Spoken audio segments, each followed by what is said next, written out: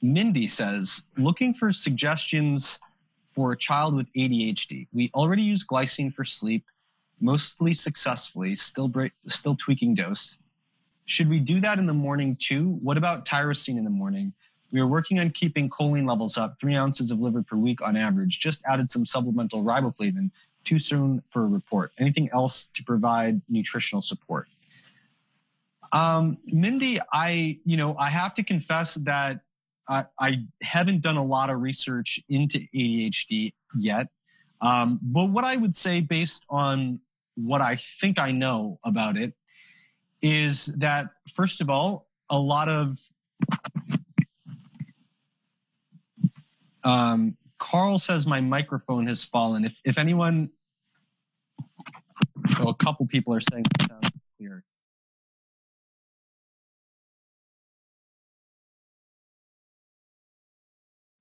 Oh, is it? Can can a couple people confirm that the sound is better now?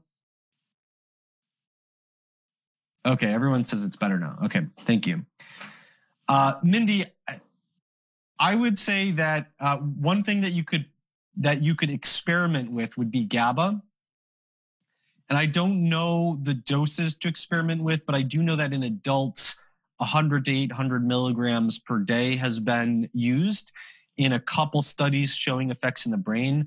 I say that because what so one of the things that's going wrong in uh, ADHD is that the brain is not the brain is not getting dopamine's signal that something is valuable enough to start paying attention to it or no, i shouldn't say that to keep paying attention to it and based on the drugs that are used to treat adhd it seems like the problem might be best characterized as generally low dopamine because it seems like the drugs that I should back up for a second. So when we talk about dopamine, there's, and this is a simplification, but I think it's a good one. When we talk about dopamine, in there's um, two areas of the brain where it's really relevant to determining what you're paying attention to and how strong the hold is on your attention. In the in the frontal cortex, we which is controlling a lot of our decision making. Basically, the more dopamine you have there, the more steady your focus is on something. So in that area of the brain, more dopamine is generally going to be more focused and less dopamine is going to mean less focus. But a huge, huge factor in actually making the decisions of what to focus on are in the basal ganglia, which is kind of like if you traced through here into the middle of your head, it's like sitting there at the base of that big wrinkly extension that has the frontal cortex in it. And the basal ganglia there is using two different, it's using dopamine in two different ways there's a tonic amount of dopamine that's always there that just sort of sets the baseline tone.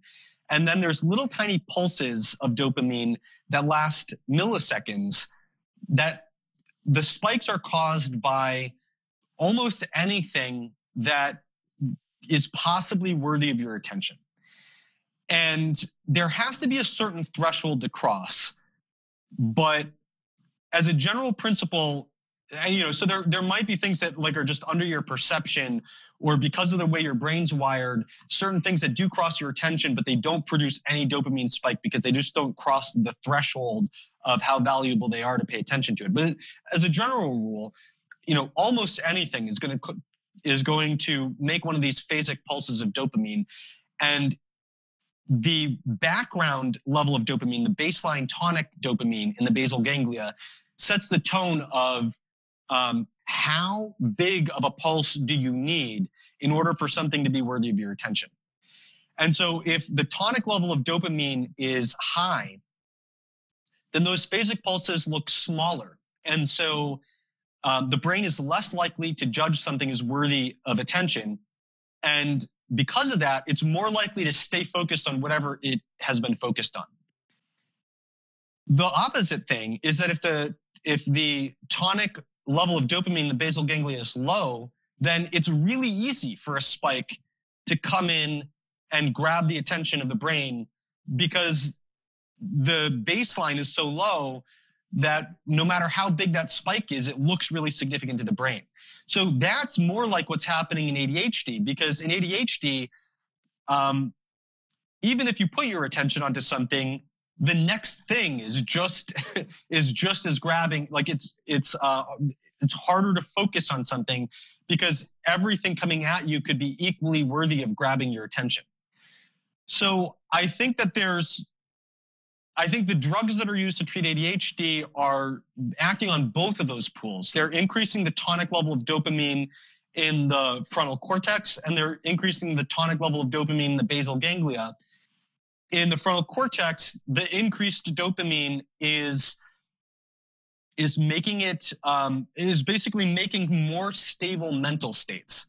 So if you focus on something, you will hold on to that better in the basal ganglia, increasing the, the tonic dopamine is making it harder for a new thing to grab your attention, which reinforces the fact that you are more focused. So anything that increases dopamine is going to be good. There's that. And in the basal ganglia, the tonic level of dopamine is primarily controlled by methylation. Now, it's true that if you just overall underproduce dopamine, that you'll have a low tonic level of dopamine in the basal ganglia. But you also don't want to overmethylate the dopamine pool because if you do, then you will reduce the tonic level of dopamine there, which is not what you want in ADHD. And so you don't want to do anything that is going to overmethylate. And the top thing that prevents overmethylation is the glycine. So one of Mindy's questions is should I just use the glycine to promote sleep or should I also use it in the morning? And I would say ultimately you have to judge it based on the results you get, but you should try it at other times during the day because one of the roles of the of glycine would be to provide the buffer against excess methylation and that's going to be one of the things that will help the tonic level of dopamine in the basal ganglia to rise up. And in the actually that's true in the frontal cortex too. So both in the frontal cortex in both pools that we're talking about um, preventing overmethylation will help the dopamine level to rise. Now, the second thing that becomes important is that in the basal ganglia, the way that dopamine signals in the phasic pulse, the way that that dopamine um, signals that something new is worthy of attention. And if we're talking about the first thing to pay attention to, like he needs to work on schoolwork uh, in the morning. That's the first thing he's paying attention to. This aspect of that is going to be important. Um, what the way that the way that it signals that is to overcome the uh, a tonic level of GABA that suppresses paying attention to everything else. To restate that in maybe a simpler way, for dopamine to make you pay attention to something that has value, you must have GABA suppressing attention to everything else. And dopamine cannot be a meaningful signal of placing of of the value of placing attention on something unless you have adequate GABA to suppress your attention paid to everything else. Because if you're paying attention to your schoolwork while you are also paying attention to your video games and to the mosquito in the corner equally as much, then you're not actually paying attention to your schoolwork. So I think that anything that would boost GABA would be helpful. And I think that, um, okay, so, uh, so yes, yes to the glycine during the day. Yes, you do want to keep choline levels up, but remember that choline is a methyl donor. And so you don't want to Okay, so choline is a double-edged sword here. First of all, the choline is needed for acetylcholine. And when dopamine tells you to pay attention to something, once you're paying attention, you need acetylcholine to get uh, to to sustain your attention on that thing and get results.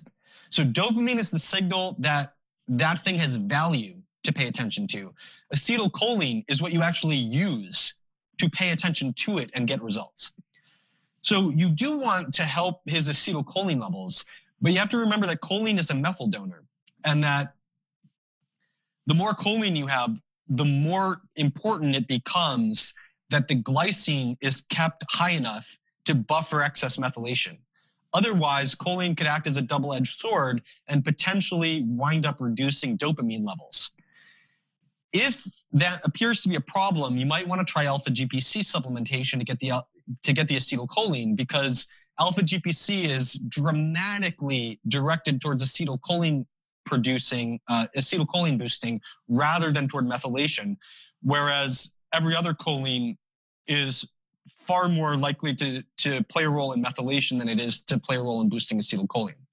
So, play, so experimenting with alpha GPC would, would be one thing uh, ver- instead of choline.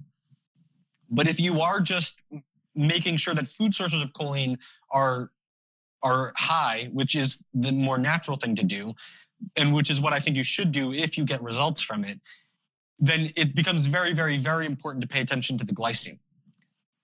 Um, the, the other thing that I would add is the GABA. The, maybe start at 100 milligrams a day and work your way up to 800 and just uh, be you know be careful with the low dose. See what results you get. If it seems promising, try increasing the dose.